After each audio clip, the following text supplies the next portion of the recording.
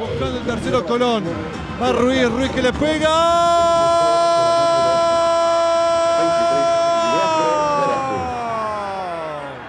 ¡Gol!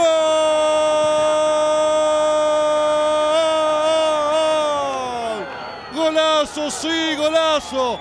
Terrible golazo de Alan Ruiz para poner el tercero de Colón, que le está ganando a Tigre por 3 a 1 y con este resultado lo deja fuera define el partido.